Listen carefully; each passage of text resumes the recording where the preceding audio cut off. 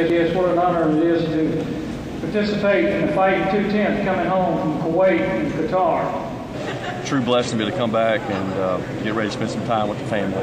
When you are reunited, your family and friends, they're the reason that you sacrifice your time to serve and defend this great nation we all love, the United States of America. Well, we're just very proud of him and very proud of the way that he represented um, our country and especially our state. And um, just so glad to have him home. I will do everything humanly possible to bring your soldier back home safe and sound.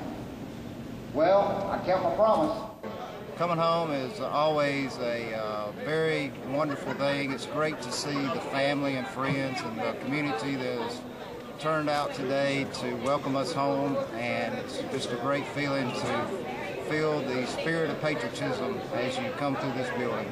How does it feel to be back home? Oh, it feels great. It feels great. Uh, it's Christmas in July. Me and my wife said, oh, we'll take a little time off and, of course, spend with the wife and the baby girl and the rest of the family and, uh, re, you know, recoup, re, you know, kind of regenerate back into society. Uh,